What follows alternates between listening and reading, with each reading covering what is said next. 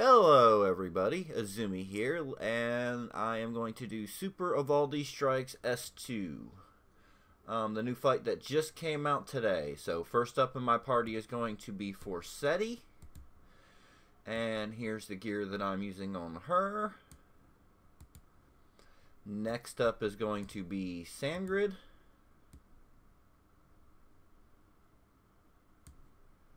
And third is going to be the uh, one of the crystal crushing MVPs of the entire game, Loki. Once he's awakened. Um, fourth is going to be Izanami. And last but not least is Darkstar Hellblendy, the Halloween version. So there we have it with the gear, and let's get on with the battle. Golden Emperor Alvaldi is in the Magic Row, is Jotun, and is considered to be airborne. His action skill, Radiant Arts, does 150% light magic attack damage and Reckoning and Light Wound for three turns to the three enemies with the lowest light resistance.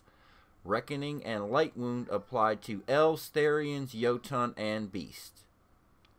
His auto skill does light magic attack damage and Holy Chain to all heroes in the Connect battle. Holy Chain applies to Elves, Therians, Jotun, and Beast. On S1, he has a Holy Field and Gravity Field.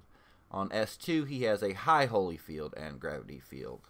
The most effective elements against the boss are going to be Light and Dark, and you need those to crush the crystals, as his um, elemental resistances to both Light and Dark are pretty much the same.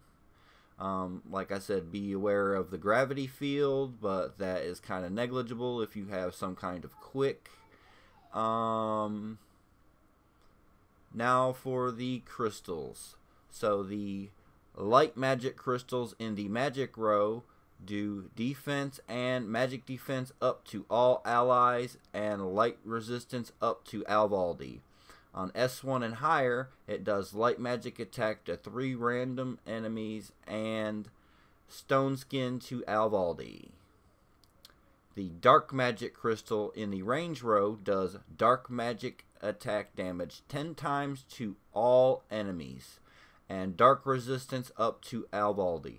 On S2, it does Dark uh, damage, Dark Magic attack damage 10 times to the two lowest HP and Stone Skin to Alvaldi. So it's going to be pretty important in navigating this Connect battle to Crystal Crush both the light and the dark crystals as fast as you possibly can. Alright, some other heroes that you can use that I'm not using would be um, Verdandi that everybody just got for free. Um, if you were lucky enough to get Izanagi, um, Manny could probably work. Sorticia definitely. Um, regular Hellblendy.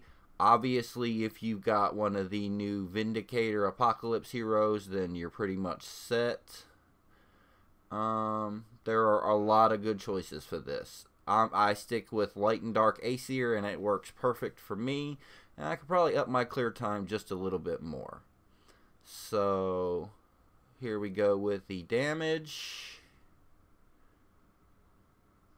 And Forseti MVP. So, thank you for watching.